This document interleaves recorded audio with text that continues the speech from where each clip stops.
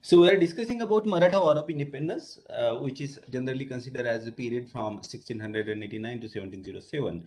And we have seen that after the killing of Sambhaji, mm, how Rajaram was um, released from prison by the Maratha noble and Yesubai, Sambhaji's wife, and he was made next Chhatrapati. And um, uh, they had a meeting and they uh, they formed a strategy that Rajaram should escape from Maharashtra and he escaped uh, from Raigad and then he went to Jinji and uh, Raigad fell in Aurangzeb's hand. Yesubai and uh, Shivaji too, who is generally known as Shahu, was uh, arrested by the Mughal and uh, now the war theater has expanded. In Maharashtra, it was Ramchandra Pant Amatya who was giving direction to fight against the Mughal.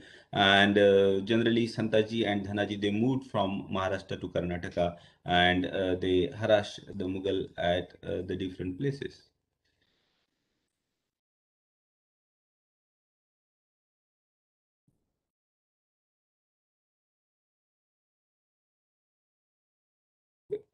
Jinji was also siege. Uh, and now slowly we find that the Maratha condition was becoming better. Many of the Marathas who were uh, in the service of the Mughal were now joining back to fight for the Swarajya.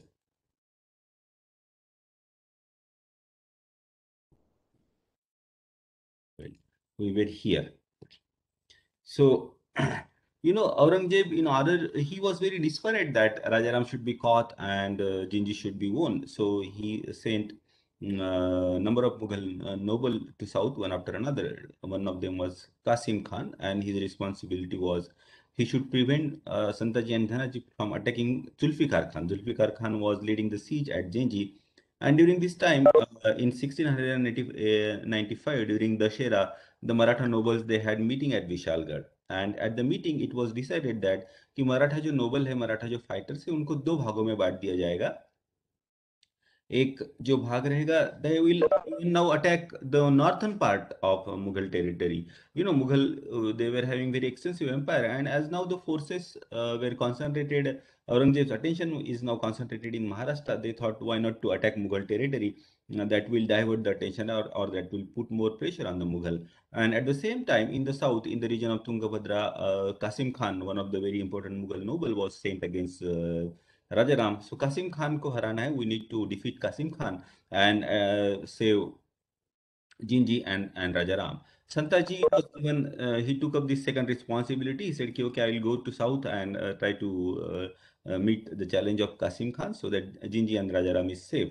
And Dhanaji, he remained near Bijapur uh, because there was a possibility that if Santaji is moving towards south, uh, the emperor may also send another reinforcement uh, to help Qasim Khan and Zulfikar Khan.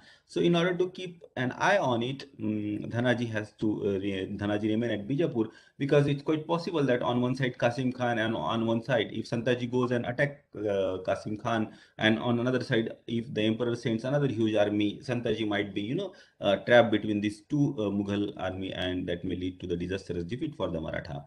Uh, meanwhile, Emperor Aurangzeb he is stationed at Brahmapuri near Pandharpur and um, at Santaji was marching towards Qasim Khan, he sent Himmat Khan against Santaji.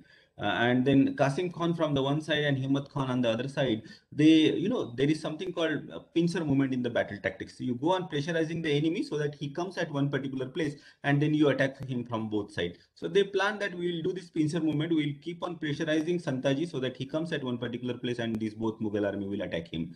Now Dhanaji, he got a hint of it that uh, one side Qasim Khan and another side Himmat Khan, they are trying to trap Santaji so he moved towards Karnataka uh, very rapidly to save the situation. Now, uh, you know, both uh, Marathas and Mughals, they try to outwit each other and Santaji and Dhanaji, they have now by this time on their fame. Uh, so this, uh, this made emperor very easy. And uh, Qasim Khan, he requested emperor that this is the situation. Santaji has came with a huge force against me and is supported by Dhanaji again. So uh, he requested to emperor that you should send another fort. And you know, in in Aurangzeb's court, there was this person called Khanzad Khan, and he was very young and he was very enthusiastic. At the same time, he had a very good reputation in the Mughal court. So this Khanzad Khan was sent uh, by Aurangzeb in order to assist Qasim Khan, and uh, even Aurangzeb, you know, there were selected a very capable bodyguard of Aurangzeb, uh, Mughal emperor, they were also sent with him. उनको भी bodyguards को भी भेजा and now he was very confident that now the situation will uh, go in, in, in, his favor. Qasim Khan was there, Himmat Khan was there, now Khanzad Khan. So huge concentration of Mughal army was there in south. Uh, now, you know, Qasim Khan, he thought Khanzad Khan, very important noble of Mughal uh, nobility is coming uh, to help me. So I should uh, give him a very befitting welcome. उनको एक अच्छा अच्छे से उनका स्वागत करते हैं तो आडोनी नाम की जो जो जगह है दक्षिण में वहाँ पर उन्होंने बहुत विशाल अरेंजमेंट की, tent furniture dining sets they they were you know ask from Adoni and लेकिन जो एक चित्रदुर्ग के जो एक नायक थे, जो छोटे से एक हिंदू जमींदार थे वो उनका कासिम खान के साथ में कुछ प्रॉब्लम हुआ था Qasim Khan has done some injustice to him so this person uh, he communicated with Santaji and Santaji को उसने सारी जानकारी दे दी कि ये लोग कहाँ मिलने वाले हैं कहाँ पर शामियाना लगा रहा है लगा हुआ है कहाँ पर where this Khanzad Khan will be welcomed by Qasim Khan. So Santaji now he got the information which are the weak point and when we should attack. And as he was an expert in the guerrilla warfare and very capable cavalry commander, what he has done is he divided his troops into three parts.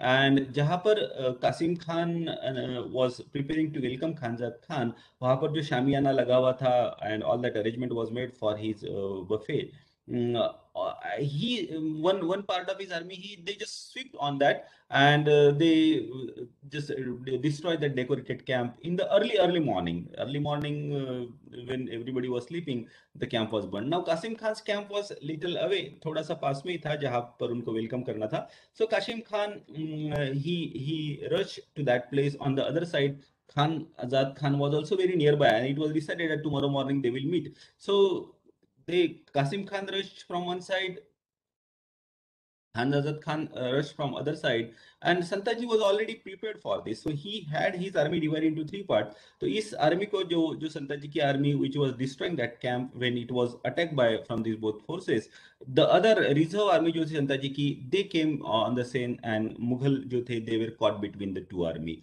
uh, two forces. And uh, uh, ये जो uh, और जो तीसरी तीसरा जो उनका part था they went and they looted the the main camp of Qasim Khan. Now the condition of the Mughal became uh, very very bad. They so these two Khan, uh, Qasim Khan and Khan, Qasim Khan and uh, Khan Azad Khan, they they just rush to the uh, place called Danderi, and Danderi was having a very small citadel, small fort, uh, which is 22 miles from Chitradurg. And the, in the Dandari fort, they took shelter. So that Dandari fort was not very big fort. It was a very small fort and many of the soldiers has to stay outside. And that citadel, that uh, fort was surrounded by Santaji. And inside the fort, there was no adequate water. Uh, and Santaji, they confined uh, this Mughal. They did not allow them to go out. And uh, the condition became pretty bad. Food, whatever food was there, it, it was over. They, they were not getting water. Now, Qasim Khan was an addicted to opium. And as he was not getting opium, he died on 20th November 1695. And somebody, according to one version, he was, uh, you know, not willing to show his face to Mughal emperor after this disgraceful defeat at the hands of Santaji and he committed suicide by swallowing poison. As the condition of the Mughal became very bad, Khanazad Khan, he appealed to Santaji's mercy and requested him that uh, his life should be spared.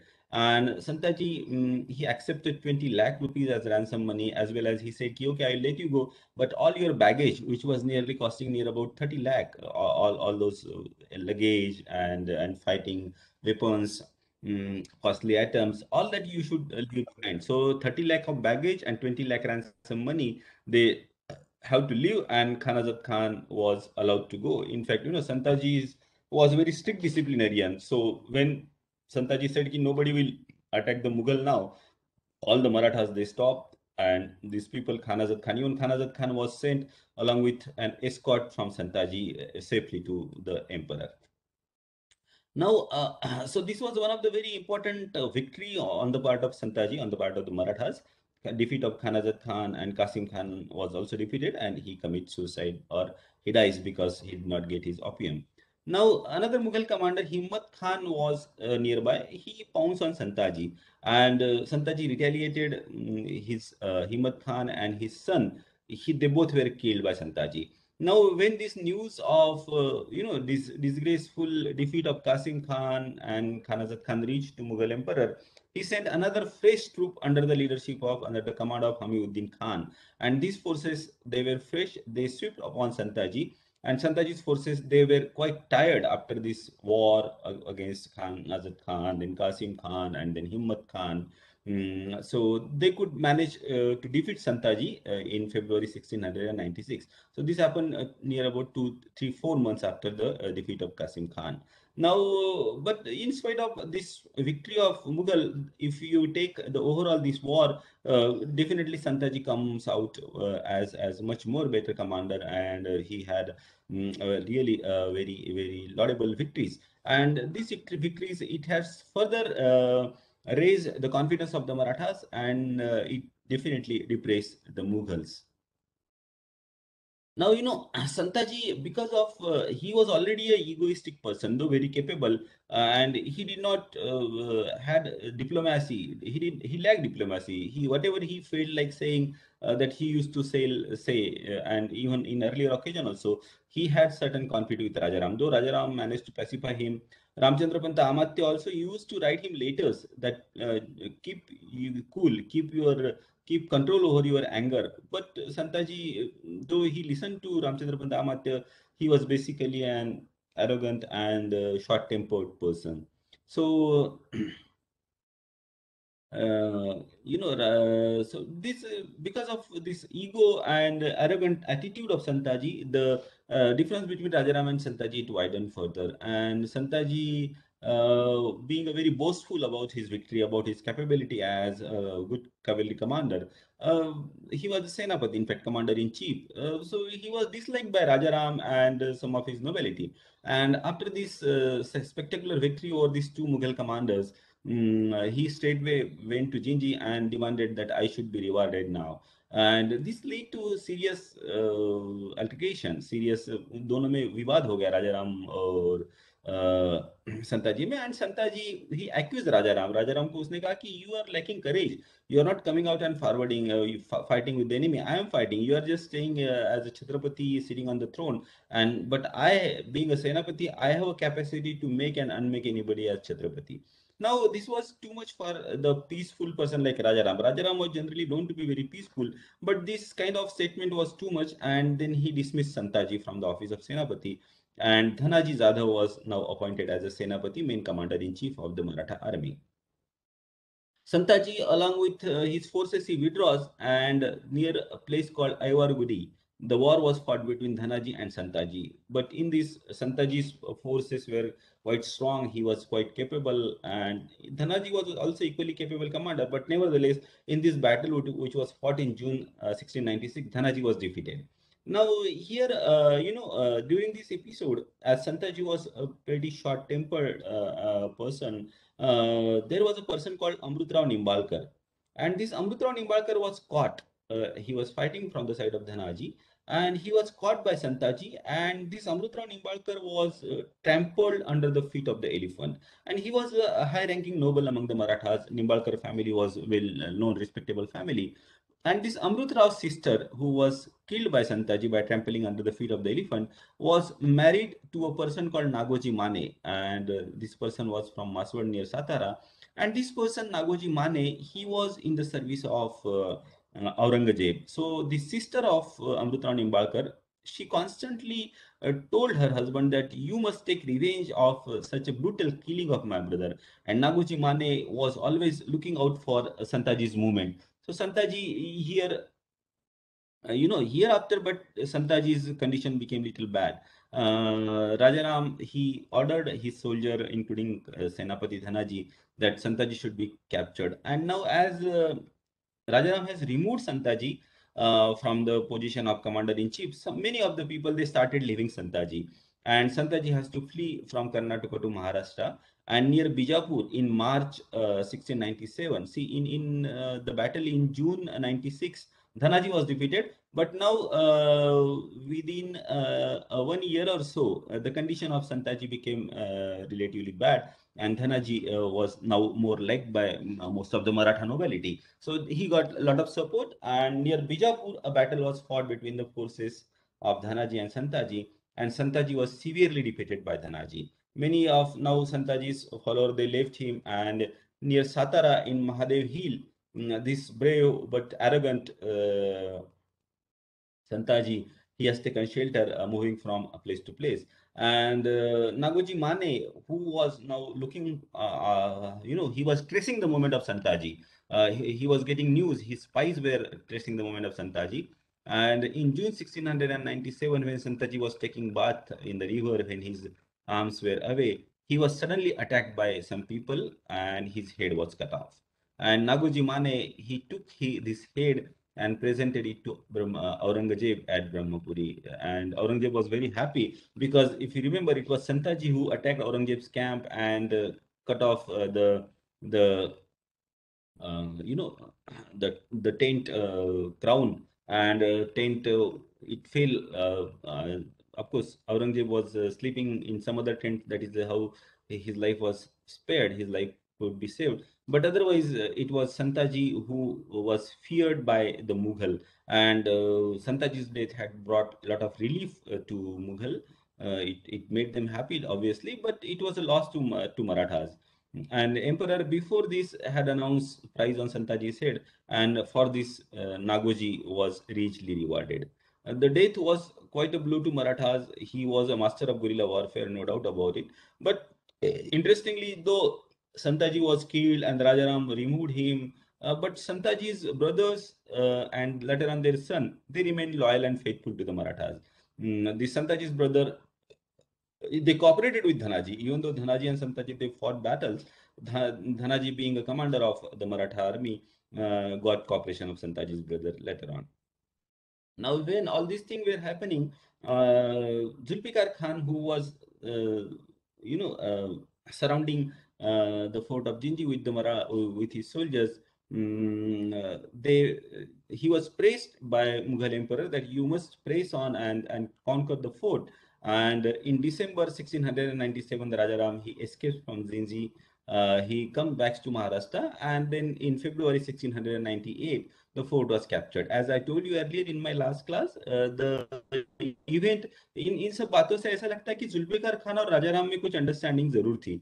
Because Zulfikar Khan allowed Raja Ram to go he one allowed his wife also to to go later on and then later on he Jinji and Aurangzeb को खुश करने के लिए वहाँ पर जो एक शंकर जी प्रहलाद निराजी जो एक मराठा नोबल था उनको पकड़ा गया and he was put to death so that emperor doesn't have doubt And uh, uh, Zulfikar Khan was congratulated by Aurangzeb and he was given title of Nusrat Jang.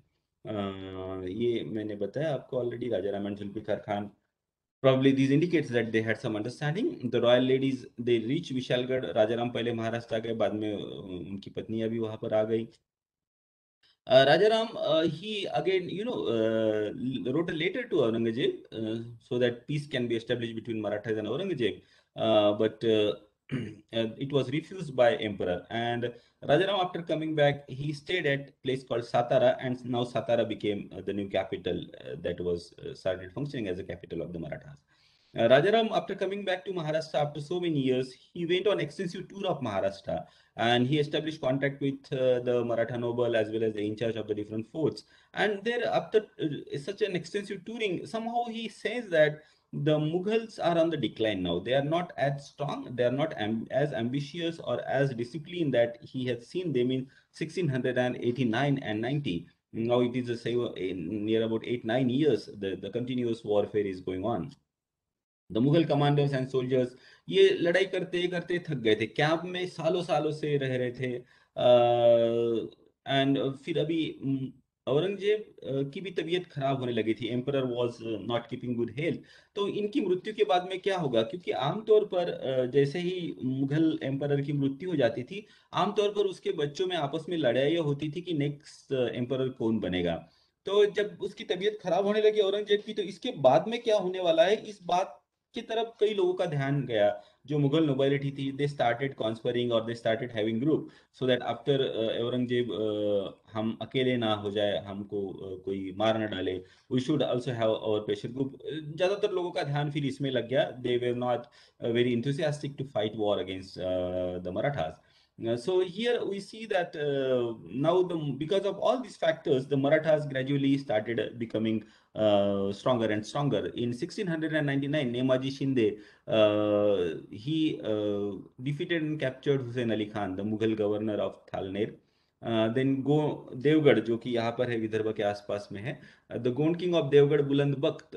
इसके ऊपर जब मुगलों ने अटैक किया तो उसको भी ये Buland Bakht he could resist that and Raja Ram के पास में उन्होंने अपने एक, अपना एक मैसेंजर भेजा, अपना एक संदेश भेजा कि let us jointly fight against the Mughal and after Dussehra in 1699 Raja Ram uh, with several young leaders. Uh, they, you know, uh, he started the campaign against the Mughal. They were Khanderao Davade, Parsoji Bhosle, Dhanaji Jadhav, and these were the people who later on made their mark in the Maratha history. इन्होंने बाद में मराठा मराठों के इतिहास में काफ़ी नाम कमाया और जब ये when Raja Ram started with these young people, he said कि I am going to loot Surat and the emperor he sent huge force to prevent him from going into Gujarat. So uh, the war was uh, the battles were fought at different places between the Mughal and the Marathas, but in uh, but because of uh, such a, a, huge pressure and Zulfikar Khan again a very capable Mughal uh, commander came chasing uh, Rajaram. Rajaram has to turn back, come back to Maharashtra.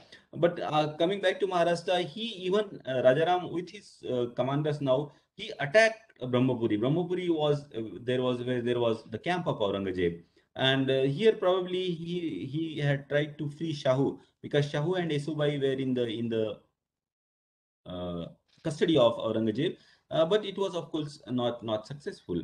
Uh, so though you know though these attempts were failed, uh, but Rajaram's later uh, it, it it indicates a lot of confidence in this young Maratha king. Like he says, you know, we are we came at Sinhagad. You know, he gives description and suddenly we have attacked Emperor uh, Senapati Dhanaji, Nemaji Shinde, and all other leader. They they furiously attack the imperial camp, and they even capture Emperor's daughter along with several of the prominent family. Uh, so you know uh, the animals and the convey and the food uh, that was being supplied to the Mughal, Mughal camp that was being attacked by the Marathas time and again and uh, Rajaram now in his letter he started talking to the noble he nobles Maratha nobility uh, that don't give any importance to emperor now he is going to be very soon defeated. So we see the scale is now going in favor of the Marathas. Uh, but Aurangzeb was not a person to give up so easily. He sent his army uh, to attack Satara, the new capital of uh, Chhatrapati, and uh, this was besieged by the Mughal. Rajaram's health now unfortunately deteriorated and he went to Sinhagad, but at Sinhagad on 2nd March 1700 at the age of 30, Rajaram dies. Rajaram's one wife, Ambika Bai, she goes sati, she uh, burned herself with the dead body of her husband. But these two of his wife, that is Tara Bai and Rajas Bai, Tara, it is called Tara Rani also, uh, they played uh, they played a very important role later on in the Maratha politics. So Rajaram's the first phase of uh, the Maratha War of Independence, when Rajaram was the leader of the Marathas, is over now. So let us sum up uh, the Rajaram's uh, contribution and his character. So you know, at the time Shivaji's death, Rajaram was very young. He was uh, 10 years old, and he spent after that nearly nine years of his life in imprisonment of his elder brother, Sambhaji, half brother. Uh, his mother was believed to put to death or she has committed uh, suicide by poison, swallowing poison. Soyarabai. Uh, there is no scholarly text, like, text left by Rajaram like Sambhaji has done. So we are not sure about uh, his education. Uh, he during his uh, rule he had no never shown a dashing generalship. neither he had shown an exceptionally administrative capacity. He was very quite gentle by nature. Uh, uh, but you know somehow uh, he had a capacity to gather the people together. And it was the untimely capture and death of Sambhaji that really brought him uh, to the throne that made him a king. Uh, and probably otherwise he could have never become a king. And even though when he was ruling, he said, "Ki I am ruling as a trustee of Shahu, Shahu, the son of uh, Sambhaji, who is in the uh, imprisoned by Aurangzeb. Uh, I am ruling as his trustee." So you know he had that kind of mild nature. He was not very ambitious person, and maybe because of that he was liked by the Marathas. He was willing to listen to his counselor, and he was looked upon as a spirit of Shivaji. Uh, his chief advice, uh, advisor, Prahlad Niraji, uh, was a very capable person, very wise person, and he mostly ruled on his advice. Unfortunately, he was killed by Zulfikar Khan later on when Jinji was captured. Uh, he was served by a very capable warrior like Santaji and Dhanaji and another capable administrator like Ramchandra Panta Amatya. And uh, understanding the need of the time, he gave free hand to warriors. You attack territory and capture the territory. And here he said ki whatever territory you are capturing from mughal you can you know uh, levy tax. You can collect the tax from there and you can submit some of the some portion of it to the to the central treasury. So he departed from the policy of shivaji. Shivaji was not in favor of giving jagir. Shivaji was more in favor of giving a uh, regular salary. And he said ki land is not to be given. But he departed from uh, shivaji's policy and gave gave, gave uh, land grant. But that was the need of the time probably because everything was in shambles. Everything administration was disrupted uh, there are certain of his shortcoming uh, like he could not handle uh, the the rude and arrogant santaji uh, it is a capacity of an administrator that uh, understanding the nature of the different people working under him उस तरीके से handle करते आना चाहिए unfortunately संता जी जैसे capable व्यक्ति का murder uh, होने से वो उनको बचा नहीं पाए and that was a loss to the Marathas ये भी कहा जाता है कि Rajaram was quite weak in body and mind and even there is certain accusation that he was an addicted to opium as well. We are not sure about it. But nevertheless, under the leadership of Rajaram, Marathas has given a very tough resistance to uh, Aurangzeb, and Aurangzeb uh, could not really conquer all the forts of the Marathas that he wanted to do. The theater of war ex expand ho gaya from Maharashtra to Karnataka, and we find that slowly the Marathas becoming gaining an upper hand. Uh, the next phase uh, that is uh, mm, uh the the Maratha War of Independence under Tarabai uh, that that was fought between 1700 to 1707. Uh, we will take that class after 10-15 minutes. Today I want to finish that topic as well. So you can take a break of 10 minutes or so, 10-15 minutes. it is 12. 37 so 1250 exactly we will start again